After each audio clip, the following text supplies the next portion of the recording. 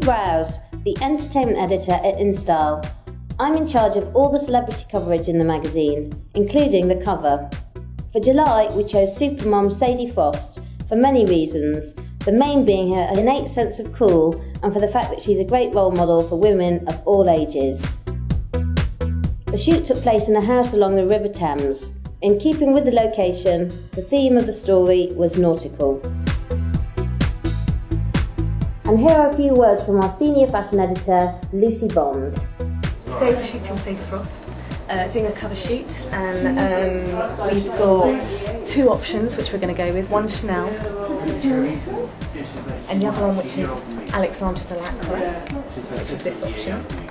Um, and then after that we're going to do um, nautical theme, um, and we've got lots of different variations of red, white and blue. So we'll probably start off with this Chloe look and then lots of separates, so shorts and little kind of sporty jackets, mm-hmm. lots of gold jewellery, lots of amazing shoes.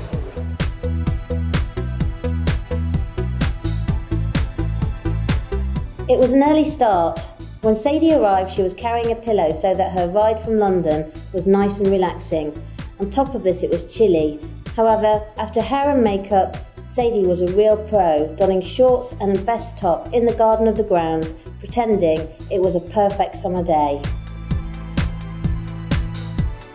The reason we chose a river location was to get a shot of Sadie in a rowing boat to match the nautical theme of the shoot. However, the blustery conditions added to the strong current. Given that we had quite a few more shots to take, we thought it best to lose this idea rather than Sadie. We always shoot two dresses for the cover, so when we're back in the office, the editor can choose which look she prefers. This month, she had a difficult decision as Sadie looked fantastic in both, her legs in particular. Trish, the editor, chose the cream and gold Chanel number rather than the Alessandro Dell'Acqua option because it was more suited for a summer issue.